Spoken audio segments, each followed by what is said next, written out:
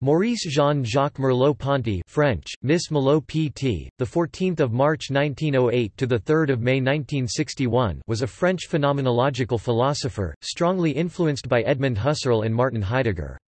The constitution of meaning in human experience was his main interest and he wrote on perception, art, and politics. He was on the editorial board of Les Temps Modernes, the leftist magazine established by Jean-Paul Sartre in 1945. At the core of Merleau-Ponty's philosophy is a sustained argument for the foundational role perception plays in understanding the world as well as engaging with the world. Like the other major phenomenologists, Merleau-Ponty expressed his philosophical insights in writings on art, literature, linguistics, and politics. He was the only major phenomenologist of the first half of the 20th century to engage extensively with the sciences and especially with descriptive psychology. It is through this engagement that his writings became influential in the project of naturalizing phenomenology, in which phenomenologists use the results of psychology and cognitive science. Merleau-Ponty emphasized the body as the primary site of knowing the world, a corrective to the long philosophical tradition of placing consciousness as the source of knowledge, and maintained that the body and that which it perceived could not be disentangled from each other. The articulation of the primacy of embodiment led him away from phenomenology towards what he was to call indirect ontology or the ontology of the flesh of the world La chair du monde, seen in his final and incomplete work, The Visible and Invisible, and his last published essay, Eye and Mind. Merleau-Ponty supported Soviet communism and his endorsement of the Soviet show trials and prison camps was published as Humanism and Terror in 1947. Life Maurice Merleau-Ponty was born in 1908 in Rochefort-sur-Mer, Charente-Maritime, France. His father died in 1913 when Merleau-Ponty was five years old. After secondary schooling at the Lycée Louis Le Grand in Paris, Merleau-Ponty became a student at the École Normale Supérieure, where he studied alongside Jean-Paul Sartre, Simone de Beauvoir, Simone Weil, and Jean Hyppolite. He attended Edmund Husserl's Paris Lectures in February 1929. In 1929, Merleau-Ponty received his day degree Diplôme d'études supérieures, roughly equivalent to an MA thesis from the University of Paris, on the basis of the now lost thesis La notion de multiple intelligible chez Plotin, Plotinus's notion of the intelligible many, directed by Émile Bréhier. He passed the agrégation in philosophy in 1930. An article published in French newspaper Le Monde in October 2014 makes the case of recent discoveries about Merleau-Ponty's likely authorship of the novel Nord. Récit de l'Arctique Grasset, 1928. Convergent sources from close friends Beauvoir, Elizabeth Zaza Lacogne seemed to leave little doubt that Jacques Heller was a pseudonym of the 20-year-old Merleau-Ponty. Merleau-Ponty taught first at the Lycée de Beauvais (1931–33) and then got a fellowship to do research from the Caisse nationale de la recherche scientifique. From 1934–1935 he taught at the Lycée de Chartres. He then in 1935 became a tutor at the École Normale Supérieure, where he was awarded his doctorate on the basis of two important books, La structure du comportement 1942 and Phénoménologie de la perception 1945. After teaching at the University of Lyon from 1945 to 1948, Merleau-Ponty lectured on child psychology and education at the Sorbonne from 1949 to 1952. He was awarded the chair of philosophy at the Collège de France from 1952 until his death in 1961, making him the youngest person to have been elected to a chair. Besides his teaching, Merleau-Ponty was also political editor for the leftist Les Temps Modernes from the founding of the journal in October 1945 until December 1952. In his youth he had read Karl Marx's writings and Sartre even claimed that Merleau-Ponty converted him to Marxism. While he was not a member of the French Communist Party and did not identify as a communist, he laid out an argument justifying the Soviet show trials and violence for progressive ends in general in the work Humanism and Terror in 1947. However, about three years later, he renounced his earlier support for political violence, and he rejected Marxism and advocated a liberal left position in Adventures of the Dialectic 1955.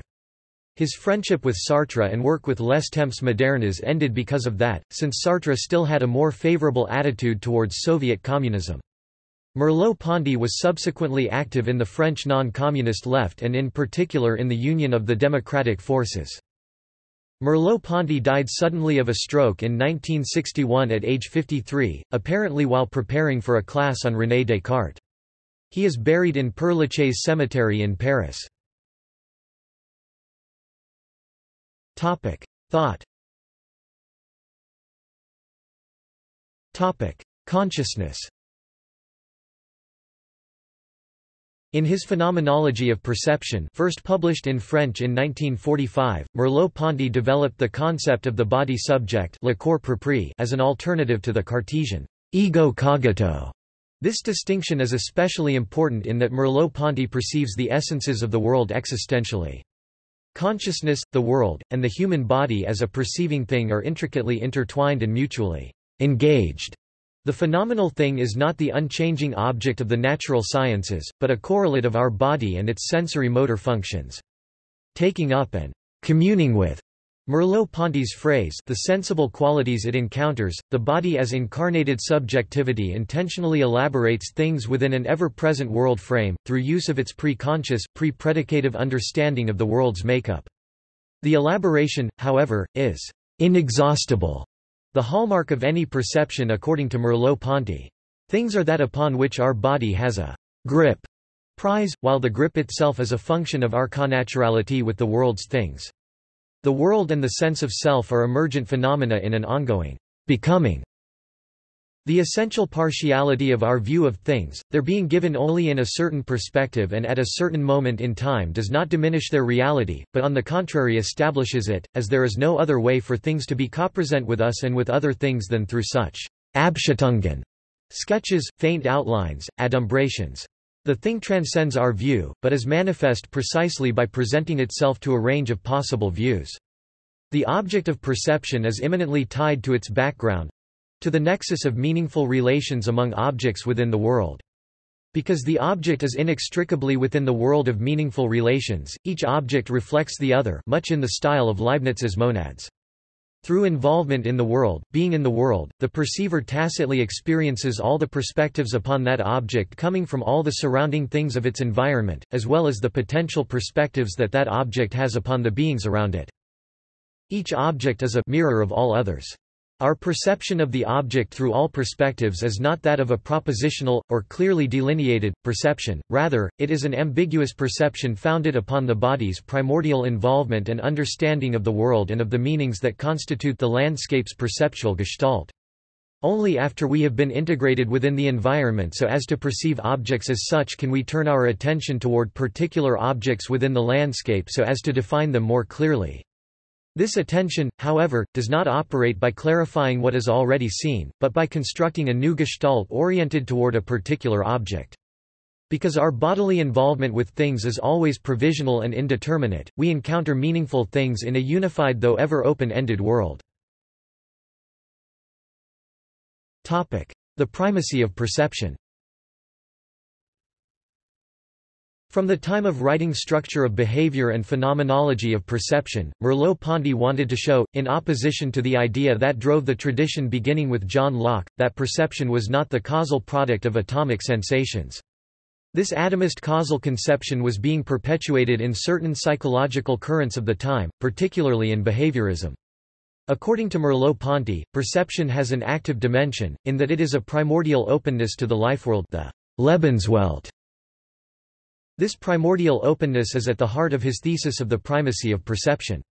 The slogan of Husserl's phenomenology is, "...all consciousness is consciousness of something", which implies a distinction between acts of thought, the noesis, and intentional objects of thought, the noema. Thus, the correlation between noesis and noema becomes the first step in the constitution of analyses of consciousness.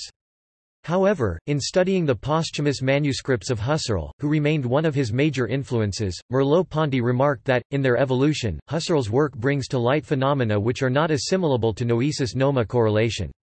This is particularly the case when one attends to the phenomena of the body which is at once body subject and body object, subjective time the consciousness of time is neither an act of consciousness nor an object of thought and the other the first considerations of the other in Husserl led to solipsism. The distinction between acts of thought noesis and intentional objects of thought noema does not seem, therefore, to constitute an irreducible ground. It appears rather at a higher level of analysis.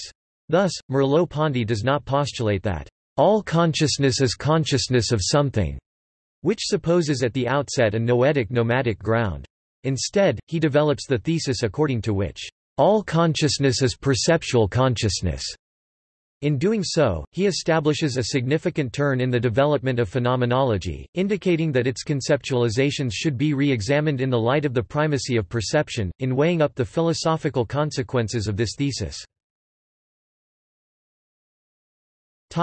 Corporeity Taking the study of perception as his point of departure, Merleau-Ponty was led to recognize that one's own body le corps propre is not only a thing, a potential object of study for science, but is also a permanent condition of experience, a constituent of the perceptual openness to the world. He therefore underlines the fact that there is an inherence of consciousness and of the body of which the analysis of perception should take account. The primacy of perception signifies a primacy of experience, so to speak, insofar as perception becomes an active and constitutive dimension.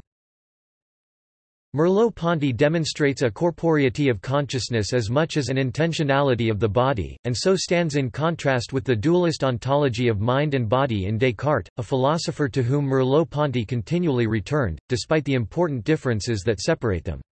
In the Phenomenology of Perception Merleau-Ponty wrote, Insofar as I have hands, feet, a body, I sustain around me intentions which are not dependent on my decisions and which affect my surroundings in a way that I do not choose 1962, p. 440. The question concerning corporeity connects also with Merleau-Ponty's reflections on space, space and the primacy of the dimension of depth la profondeur as implied in the notion of being in the world au monde, to echo Heidegger's in der Welt sein and of one's own body le corps propre. Language The highlighting of the fact that corporeity intrinsically has a dimension of expressivity which proves to be fundamental to the constitution of the ego is one of the conclusions of the structure of behavior that is constantly reiterated in Merleau-Ponty's later works. Following this theme of expressivity, he goes on to examine how an incarnate subject is in a position to undertake actions that transcend the organic level of the body, such as in intellectual operations and the products of one's cultural life. He carefully considers language, then, as the core of culture, by examining in particular the connections between the unfolding of thought and sense, enriching his perspective not only by an analysis of the acquisition of language and the expressivity of the body, but also by taking into account pathologies of language, painting, cinema, literature, poetry and song. This work deals mainly with language, beginning with the reflection on artistic expression in the structure of behavior, which contains a passage on El Greco p. 203 ff that prefigures the remarks that he develops in Cézanne's Doubt 1945 and follows the discussion in Phenomenology of Perception. The work, undertaken while serving as the chair of child psychology and pedagogy at the University of the Sorbonne, is not a departure from his philosophical and phenomenological works, but rather an important continuation in the development of his thought. As the course outlines of his Sorbonne lectures indicate, during this period he continues a dialogue between phenomenology and the diverse work carried out in psychology, all in order to return to the study of the acquisition of language in children, as well as to broadly take advantage of the contribution of Ferdinand de Saussure to linguistics, and to work on the notion of structure through a discussion of work in psychology, linguistics and social anthropology. Art Merleau-Ponty distinguishes between primary and secondary modes of expression. This distinction appears in Phenomenology of Perception p. 207, second note fr. ed., and is sometimes repeated in terms of spoken and speaking language le langage parlé et le langage parlant the prose of the world, p. 10. Spoken language la langage parlé, or secondary expression, returns to our linguistic baggage, to the cultural heritage that we have acquired, as well as the brute mass of relationships between signs and significations. Speaking language la langage parlant, or primary expression, such as it is, is language in the production of a sense, language at the advent of a thought, at the moment where it makes itself an advent of sense. It is speaking language, that is to say, primary expression, that interests Merleau-Ponty and which keeps his attention through his treatment of the nature of production and the reception of expressions, a subject which also overlaps with an analysis of action, of intentionality, of perception, as well as the links between freedom and external conditions. The notion of style occupies an important place in indirect language and the voices of silence.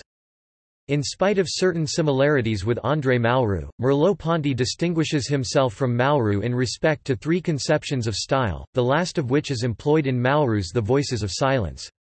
Merleau-Ponty remarks that in this work, style is sometimes used by Malraux in a highly subjective sense, understood as a projection of the artist's individuality. Sometimes it is used, on the contrary, in a very metaphysical sense in Merleau-Ponty's opinion, a mystical sense, in which style is connected with a conception of an uber-artist, expressing the spirit of painting.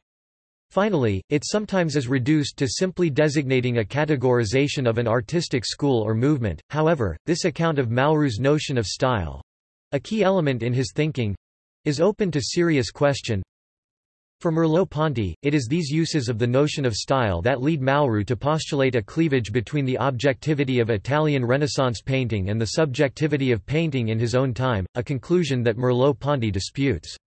According to Merleau-Ponty, it is important to consider the heart of this problematic, by recognizing that style is first of all a demand owed to the primacy of perception, which also implies taking into consideration the dimensions of historicity and intersubjectivity. However, Merleau-Ponty's reading of Malraux has been questioned in a recent major study of Malraux's theory of art which argues that Merleau-Ponty seriously misunderstood Malraux. For Merleau-Ponty, style is born of the interaction between two or more fields of being. Rather than being exclusive to individual human consciousness, consciousness is born of the pre-conscious style of the world, of nature. Science In his essay, Cézanne's Doubt, in which he identifies Paul Cézanne's impressionistic theory of painting as analogous to his own concept of radical reflection, the attempt to return to, and reflect on, prereflective consciousness, Merleau-Ponty identifies science as the opposite of art. In Merleau-Ponty's account, whereas art is an attempt to capture an individual's perception, science is anti-individualistic. In the preface to his Phenomenology of Perception, Merleau-Ponty presents a phenomenological objection to positivism, that it can tell us nothing about human subjectivity. All that a scientific text can explain is the particular individual experience of that scientist, which cannot be transcended. For Merleau-Ponty, science neglects the depth and profundity of the phenomena that it endeavors to explain. Merleau-Ponty understood science to be an ex post facto abstraction.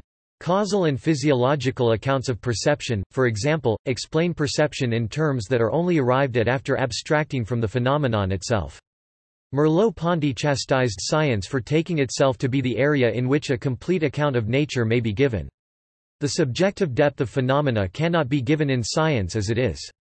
This characterizes Merleau-Ponty's attempt to ground science in phenomenological objectivity and, in essence, institute a return to the phenomena. Topic: Influence. Topic: Anticognitivist cognitive science. Merleau-Ponty's critical position with respect to science was stated in his preface to the Phenomenology. He described scientific points of view as always both naive and at the same time dishonest. Despite, or perhaps because of, this view, his work influenced and anticipated the strands of modern psychology known as postcognitivism. Hubert Dreyfus has been instrumental in emphasizing the relevance of Merleau-Ponty's work to current post-cognitive research, and its criticism of the traditional view of cognitive science. Dreyfus's seminal critique of cognitivism or the computational account of the mind, What Computers Can't Do, consciously replays Merleau-Ponty's critique of intellectualist psychology to argue for the irreducibility of corporeal know-how to discrete, syntactic processes. Through the influence of Dreyfus's critique and neurophysiological alternative, Merleau-Ponty became associated with neurophysiological, connectionist accounts of cognition. With the publication in 1991 of The Embodied Mind by Francisco Varela, Evan Thompson, and Eleanor Rosch, this association was extended, if only partially, to another strand of anti-cognitivist or post-representationalist cognitive science, embodied or enactive cognitive science, and later in the decade, to neurophenomenology.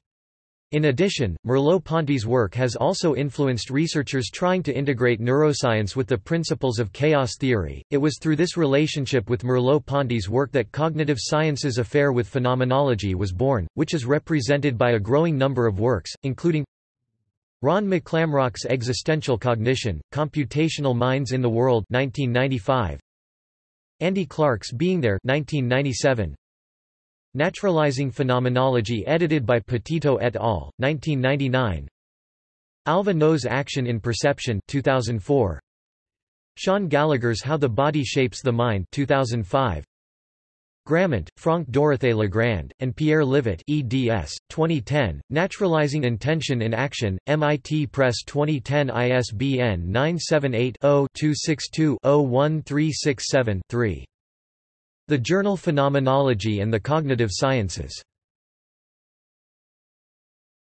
Topic: Feminist philosophy